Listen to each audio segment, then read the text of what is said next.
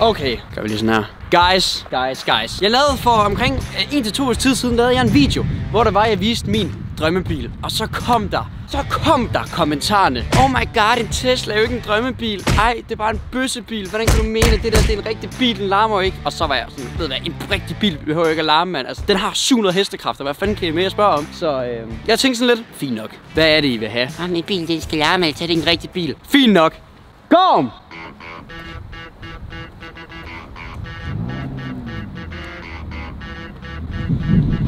Så får jeg da bare en rigtig bil, hvis det er det, I vil have, mand.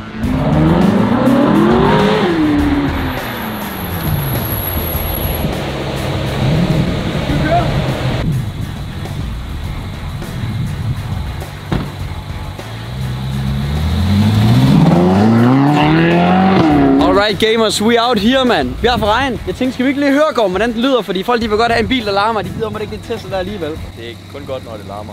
Det er kun godt. Ej, ikke hvis det er en Tesla, ikke hvis det er en Tesla. Skal vi lige høre?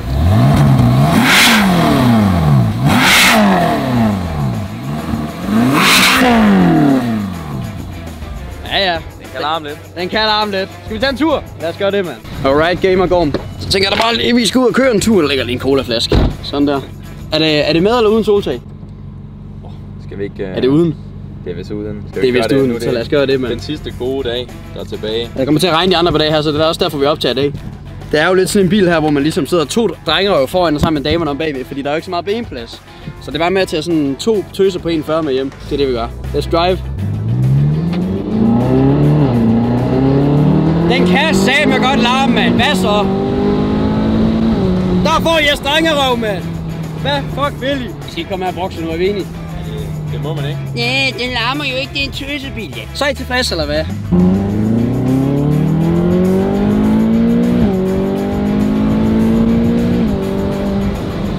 Åh, oh, går du lige op og ramme 60?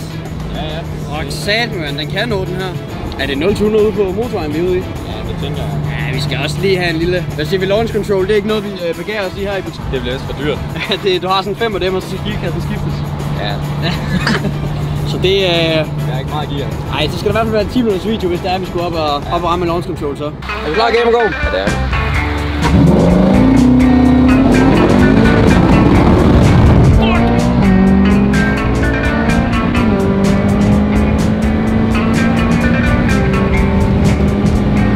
Åh, med soltag! Så er vi skal op på broen, gamer. Lige ned med duen. Kom nå. For jeg kan se en Tesla derovre. En Tesla? Ja, jeg tror sgu, jeg kan se to. Det skulle da sådan en mumbil, er det ikke? Men vi kan tåle det. Jeg tror ikke, dem, der ser videoen, de kan tåle det. Det blev ret sure sidste gang, jo. Sagde med... Vi kører hurtigt her i RP. Det må jeg sige. Jeg vil også sige, at folk lige kigger lidt mere, når man sidder i den her, end de gør i, uh, end de gør i Tesla. Ja, det gør de.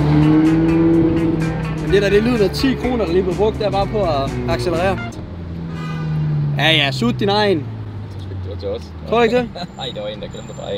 Eller blinke eller noget. Det kunne de sgu ikke lide. Undskyld, du behøver ikke at sutte din egen alligevel. Nej. Det kan konen gøre. Nu råber jeg med åbent vindue. Det skal jeg nok lade. Nå, men jeg tænker, skal vi lave tunneltesten? Det bliver Den obligatoriske, vi kan også lave p til. Det er også en form for bro. Det er en bro under vand. Vi er ude ved tunnelen snart.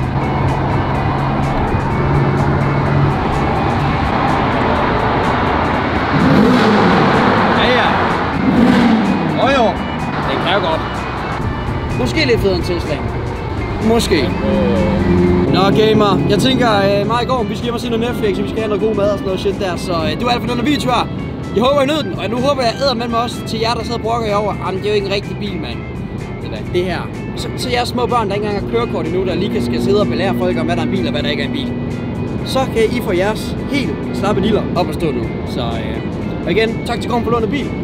Og øh, er der ikke en anden bil, vi skal ud og prøve her med på tid måske? Jo. Prøv noget nyt. Jo, det er med at prøve noget nyt jo, altså. Ny uge, ny bil. Er det det, vi er ude i? Sådan noget, der er ret. Nå, noget i den retning, mand. Tusind tak, fordi I så med. Vi ses i den næste video. Hey.